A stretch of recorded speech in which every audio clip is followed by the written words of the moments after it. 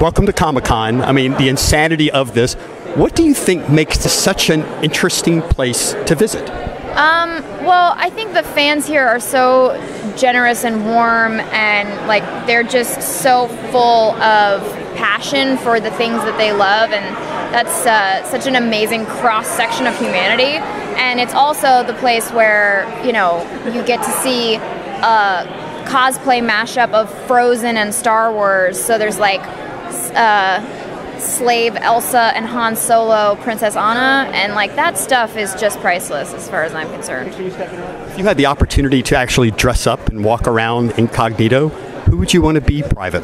The first time I came to Comic Con, I actually did that.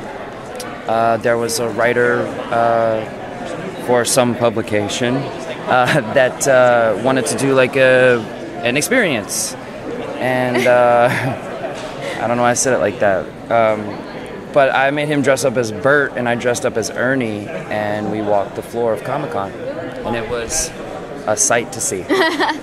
But let me ask you, you brought you're bringing the movie Trolls, and you know once again now Hollywood, which used to kind of base its films on classic pieces of literature or great stage plays, is dipping into a fantastical world. What makes Trolls an interesting story to tell cinematically?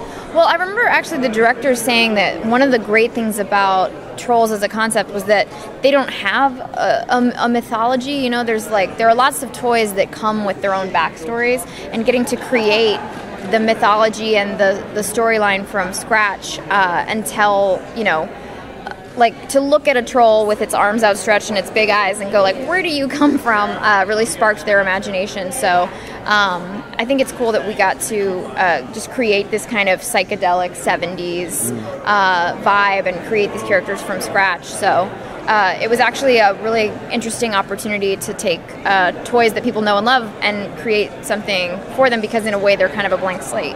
And justin you helped make them sing. So what was the musical kind of uh, backstory for you? I mean, where did you start? Well, I think what we wanted to do uh, was make it feel, you know, make it's a musical, you know, essentially, but make it feel modern.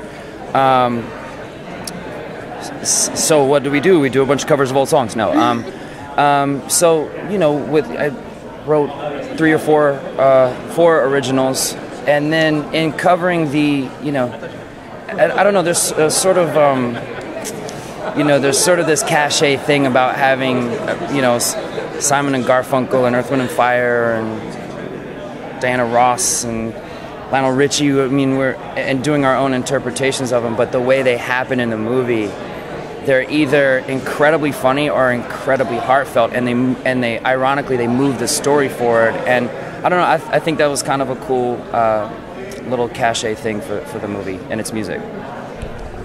Thank you.